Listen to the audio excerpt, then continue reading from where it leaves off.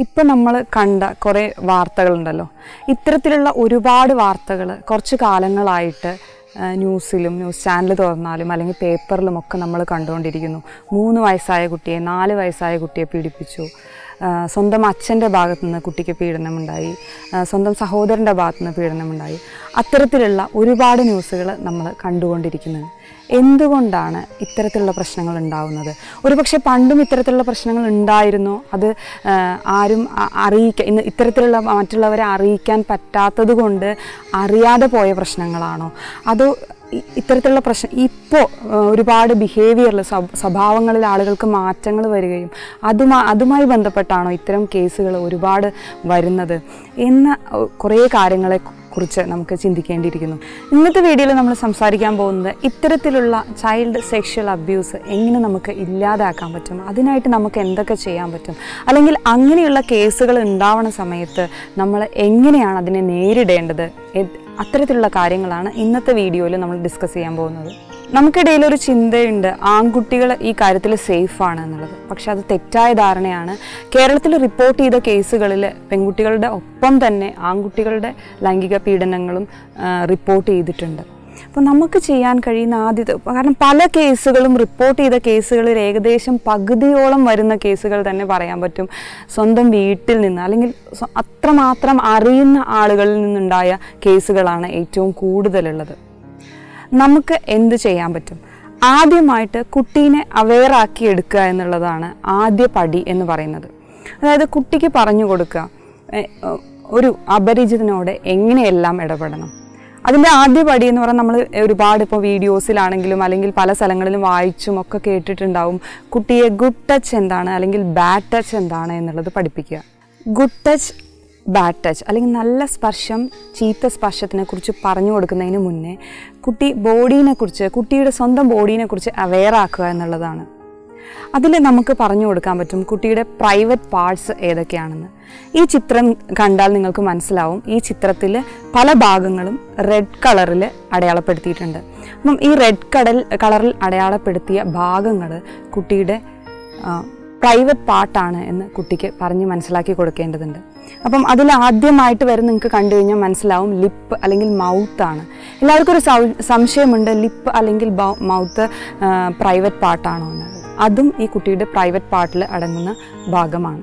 ഇനി നമുക്ക് ബാക്കി ഈ ഒരു പിക്ചർ കണ്ടാൽ മനസ്സിലാവും ലിപ്പല്ലാതെ റെഡ് റെഡ് കളറിൽ അടയാളപ്പെടുത്തിയിട്ടുള്ള ബാക്കി ഭാഗങ്ങൾ കുട്ടിയുടെ ചെസ്റ്റ് അല്ലെങ്കിൽ ബ്രസ്റ്റ് അതിന്റെ താഴത്തേക്ക് അതുപോലെ കുട്ടിയുടെ വജൈന അല്ലെങ്കിൽ പെന്നിസ് ഇത്തരത്തിലുള്ള ഭാഗങ്ങൾ റെഡ് കളറിൽ അടയാളപ്പെടുത്തിയതായിട്ട് കാണാൻ കഴിയും. അപ്പം ഈ കുട്ടിയോട് ഇത് കൃത്യമായി പറഞ്ഞു കൊടുക്കുകയും ഇത് പ്രൈവറ്റ് പാർട്ടുകളാണ് ഈ പാർട്ടിൽ അമ്മയോ അല്ലെങ്കിൽ കുട്ടിയോ അല്ലെങ്കിൽ എന്തെങ്കിലും ആവശ്യത്തിനായിട്ട് നമുക്ക് പോകേണ്ടി വരികയാണെങ്കിൽ ഡോക്ടറോ അല്ലാതെ മറ്റൊരാളെ കൊണ്ടും ഇത്തരം പാർട്ടുകളിൽ തൊടിയിപ്പിക്കാൻ പാടില്ല എന്നുള്ളത് കുട്ടീനെ പറഞ്ഞു കൊടുക്കുകയും അങ്ങനെ ഒരു സിറ്റുവേഷൻ ഉണ്ടാവണ സമയത്ത് അല്ലെങ്കിൽ എന്തെങ്കിലുമൊക്കെ കുട്ടീനോട് പറഞ്ഞു കൊടുത്ത് ഭീഷണിപ്പെടുത്തി പേടിപ്പിച്ചൊക്കെ അങ്ങനെ ഒരു സംഭവം ഉണ്ടാവുകയാണെങ്കിലും തീർച്ചയായിട്ടും അതിന് എങ്ങനെ പ്രതികരിക്കണം എന്നുള്ളതും അതായത് എങ്ങനെ നോ പറയണം എന്നുള്ളത് കുട്ടീനെ പറ പറഞ്ഞ് പഠിപ്പിക്കേണ്ടതുണ്ട്.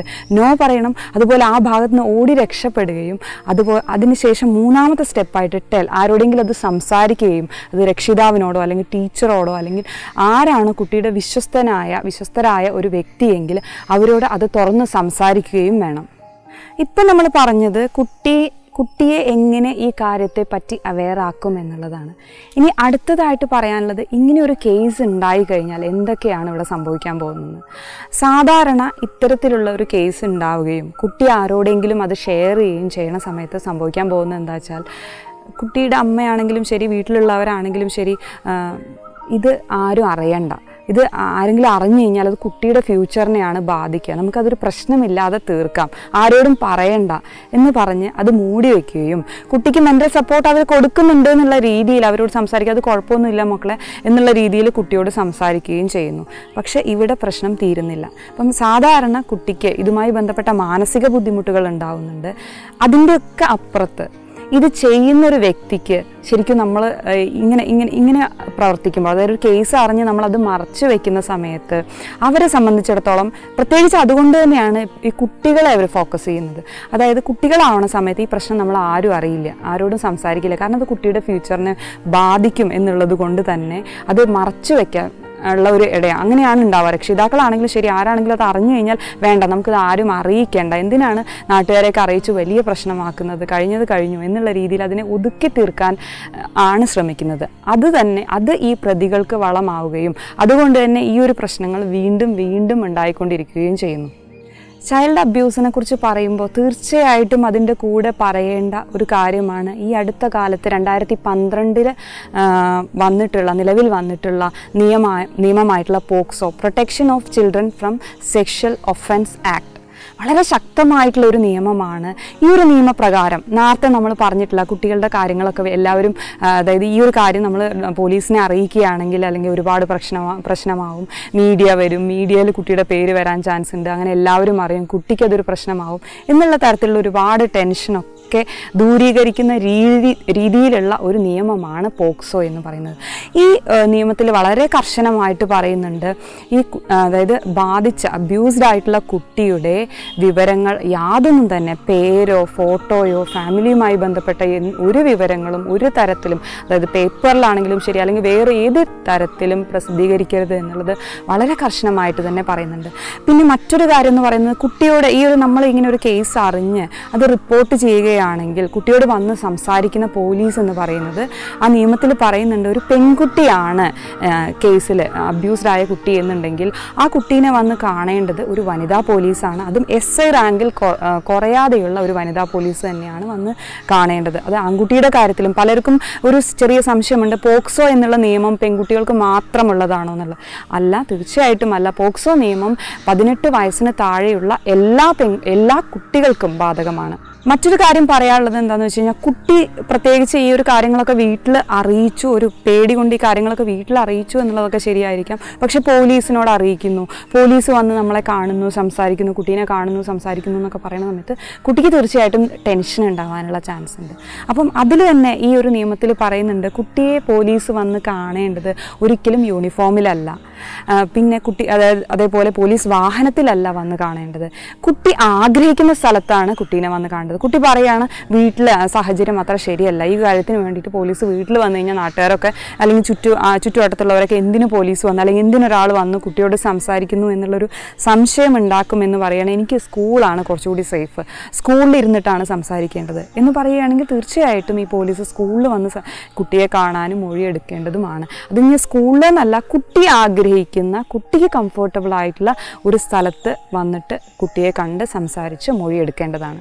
അപ്പം ഈ നിയമം ഇത്രയും സിമ്പിൾ ആയതുകൊണ്ടും ഇത്രയും ചൈൽഡ് ഫ്രണ്ട്ലി ആയതുകൊണ്ടും ഒട്ടും പേടിക്കാതെ തന്നെ കുട്ടിക്കോ അല്ലെങ്കിൽ രക്ഷിതാവിനോ റിപ്പോർട്ട് ചെയ്യാവുന്നതാണ് കേസുകൾ ഇനി അതല്ല എന്നുണ്ടെങ്കിൽ കുട്ടിക്ക് എവിടെ നിന്നാണ് ഇതിന്റെ ഒരു അവയർനെസ് കിട്ടുന്നത്? പോ പോക്സോ പോലുള്ള നിയമത്തെക്കുറിച്ചുള്ള അവയർനെസ് തീർച്ചയായും ഇത് ഓരോ സ്കൂളുകളിലും സ്കൂൾ കൗൺസിലേഴ്സ് ഉണ്ട്. അപ്പോൾ സ്കൂൾ കൗൺസിലേഴ്സ് അവർക്ക് എന്താണ് പോക്സോ എന്നും അല്ലെങ്കിൽ സെക്സ് എഡ്യൂക്കേഷനെ പറ്റിയുള്ള കാര്യങ്ങളും അത്തരത്തിലുള്ള അവയർനെസ് നേരത്തെ പറഞ്ഞ പോലെ ഗുഡ് ടച്ച് ആൻഡ് ബാഡ് ടച്ചിനെ കുറിച്ചൊക്കെ പറഞ്ഞു കൊടുക്കും. അപ്പോൾ അവർക്ക് മനസ്സിലാവും ആ ഇങ്ങനെ ഒരു പ്രശ്നം വന്നു കഴിഞ്ഞാൽ ഞാൻ എന്താണ് ചെയ്യേണ്ടത്?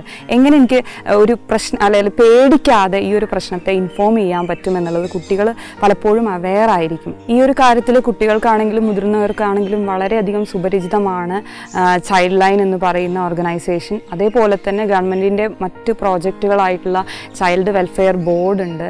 അതേപോലെ തന്നെ ഡിസ്ട്രിക്ട് ചൈൽഡ് പ്രൊട്ടക്ഷൻ യൂണിറ്റുകളുണ്ട് ഇതൊക്കെയും കുട്ടികളുടെ സംരക്ഷണത്തിന് വേണ്ടി നമ്മുടെ നാട്ടിൽ പ്രവർത്തിച്ചുകൊണ്ടിരിക്കുന്നുണ്ട്.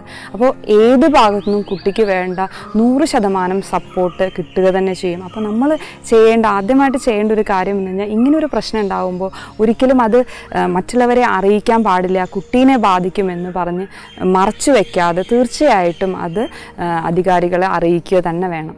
ഇത്തരത്തിൽ നമ്മൾ ലീഗലി ഒക്കെ പോണ സമയത്ത് അതിന് മുന്നേ നമ്മൾ നമ്മുടെ കുട്ടീനെ കുറിച്ച് കൂടെ ഒന്ന് ചിന്തിക്കേണ്ടതുണ്ട്. അതായത് ഇത്തരം പ്രശ്നങ്ങൾ ഉണ്ടാവുന്ന സമയത്ത് തീർച്ചയായിട്ടും കുട്ടി ഹാപ്പി ആയിട്ട് കുട്ടി ചില കുട്ടികൾക്ക് ഇത് എന്താ സംഭവിച്ചതെന്ന് പോലും മനസ്സിലാവാതെ ഹാപ്പിയായി നടക്കുമെങ്കിലും തീർച്ചയായിട്ടും കുട്ടീനെ ഭാവിയിൽ പലതരത്തിലുള്ള മാനസിക വൈകല്യങ്ങൾ ഉണ്ടാവാൻ ഈ ഒരു പ്രശ്നം കാരണമാവാറുണ്ട്. പോസ്റ്റ് ട്രോമാറ്റിക് സ്ട്രെസ് ഡിസോർഡറോ അല്ലെങ്കിൽ പലതരത്തിലുള്ള ഡിപ്രഷനോ ഒക്കെ ഉണ്ടാവാനുള്ള ചാൻസ് ഉണ്ട്. അപ്പോൾ തീർച്ചയായിട്ടും ആദ്യമായിട്ട് ഇങ്ങനെ ഒരു സിറ്റുവേഷൻ ഉണ്ടാവുകയാണെങ്കിൽ ആ കുട്ടിക്ക് ഒരു കൗൺസിലറുടെ സഹായം അല്ലെങ്കിൽ ഒരു സൈക്കോളജിസ്റ്റിന്റെ സഹായം തീർച്ചയായിട്ടും തേടേണ്ടതുണ്ട്. അപ്പോൾ അവരുടെ ഹെൽപ്പോടെ തന്നെ ഫാമിലിയുടെ ഭാഗത്തുനിന്ന് നമുക്ക് കൊടുക്കാൻ കഴിയുന്ന മാക്സിമം സപ്പോർട്ടും കൂടെ ഉണ്ടെങ്കിൽ തീർച്ചയായിട്ടും ഇത്തരത്തിലുള്ള മാനസിക പ്രശ്നങ്ങളിലേക്കൊന്നും പോവാതെ തന്നെ കുട്ടീനെ നമുക്ക് രക്ഷിച്ചുകൊണ്ട് രക്ഷിച്ച് എടുക്കാൻ പറ്റും. അപ്പം ഇത്തരത്തിലുള്ള ആരോഗ്യവുമായി ബന്ധപ്പെട്ട ആധികാരിക വിവരങ്ങൾക്ക് ഹെൽത്തി ടി വിയുടെ ഈ ഒരു പേജ് ലൈക്ക് ചെയ്യുക സബ് സബ്സ്ക്രൈബ് ചെയ്യുക ഷെയർ ചെയ്യുക.